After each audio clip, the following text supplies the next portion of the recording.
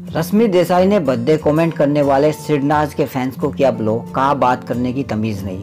रश्मि देसाई और देवलीना भट्टाचार्य इन दिनों सिरनाज फैंस के निशाने पर है, जिसकी वजह से दोनों ही हसीनाएँ काफ़ी निराश है। सिरनाज के फैंस इस बात पर ध्यान ही नहीं दे रहे कि रश्मि देसाई और देवलीना भट्टाचार्य के दिमाग में क्या चल रहा है। वो तो बस इन दोनों हसीनाओं को ट्रोल करने में लगे हुए हैं। लोगों की बदतमीजी का अंदाज़ा आप इसी बात से लगा सकते हैं कि रश्मि देसाई ने कई लोगों के बर्थडे कमेंट से परेशान होकर उनको ब्लॉक तक कर डाला है।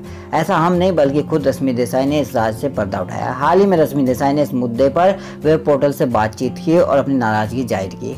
सोशल मीडिया पर आ रहे बद्दे कमेंट पर बात करते हुए रश्मि देसाई ने कहा कि सोशल मीडिया पर जो भी हो रहा है वो गलत है। सोशल मीडिया पर आ रहे बद्दे कमेंट्स पर बात करते हुए रश्मि देसाई ने कहा कि सोशल मीडिया पर जो कुछ हो रहा है वो गलत है। लोगों को इस बात की समझ होनी चाहिए कि किससे कैसे बात करनी है। अपने शब्दों पर किसी का कंट्रोल नहीं है क्या? सभ्य लोग बदतमीजी तो नहीं करते। जैसे ही देवलीना का ऑडियो वायरल हुआ, वैसे भी श्रीनाथ के फैंस मुझ पर और देवलीना पर बुरी तरह से बरसने लगे। यहाँ तक कि उन लोगों ने मेरे परिवार तक को बुरा भला कहा। इतना ही नहीं है, सभी लोग मुझे बता रहे कि मुझे कैसे बात करनी चाहिए।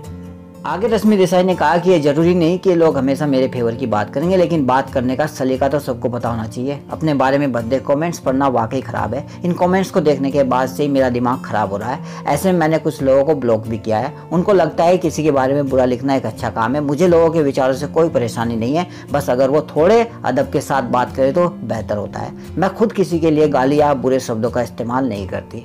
रश्मि देसाई ने अपनी बात को आगे बढ़ाते हुए कहा कि भगवान की कृपा से मेरी भी काफ़ी फ़ैन फॉलोइंग है, लेकिन मेरे किसी भी फ़ैन ने आज तक इस तरह के कमेंट्स नहीं किए। जब भी मैं सोशल मीडिया पर कुछ लिखती हूँ तो ये लोग मेरी बात सुनते हैं और समझते भी हैं। तभी तो इस मामले में मैं खुद को लगी समझती हूँ।